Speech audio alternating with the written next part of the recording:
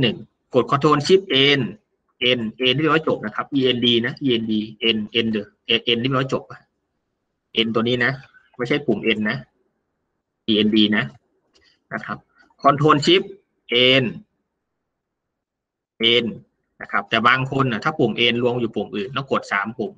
มีชีวิตมันมันลำบากหน่อย Ctrl Shift Function N นะครับคราวนี้ Ctrl Shift Function N เนี่ย ปัญหาของมันคือมันจะกระโดดจบไปที่ไอตัวสุดท้าย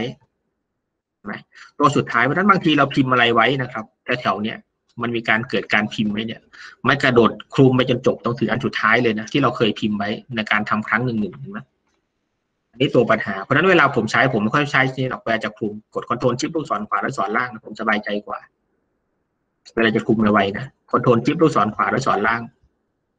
อันไหม Control แปลว่ากระโดดแปลว่าคลุม Control Shift กระโดดคลุมไปทางขวาเห็นไหมครับ กระโดดคลุมลงข้างล่างอ่าเอาใหม่ตัวนี้